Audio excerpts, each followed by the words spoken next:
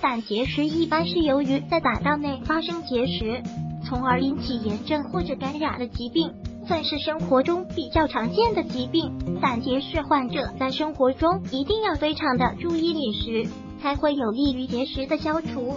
那么结石不能吃什么，又能吃什么？以下内容为你解答：一、什么是胆结石？胆结石是由于胆道系统内发生结石而诱发的疾病。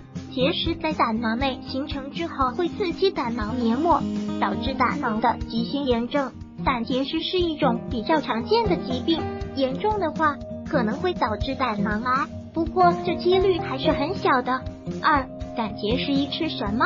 一、粗粮、新鲜蔬果有利于降胆固醇，宜多吃，特别是富含维生素 A 和维生素 K 的，比如西红柿、胡萝卜、菠菜。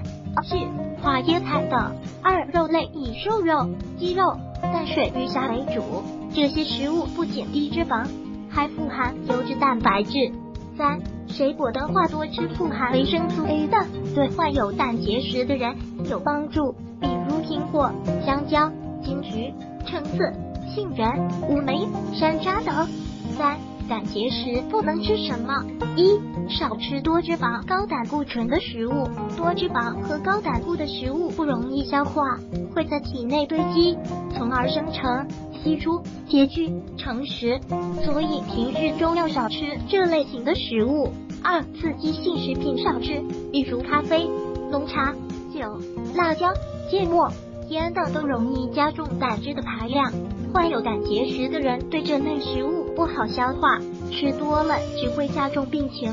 三、容易引起胀气的食物需要少吃，地瓜、洋葱、黄豆、韭菜、大蒜、萝卜以及汽水类型的饮料都非常容易引起胀气，尽量少吃。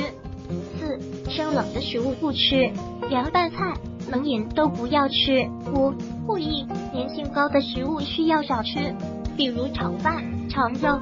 糯米制作而成的年糕、中指、糯米饭等。六、胆结石患者不宜多喝牛奶，牛奶中的酪蛋白不易消化，脂肪球大不仅不易消化，还对肠道有一定的刺激作用。牛奶中的脂肪消化需要胆汁，所以无形中会加重胆囊的负担，从而导致病情加重。所以不宜多喝。吃在人们生活中占据着无与比拟的地位，吃是一把双刃剑。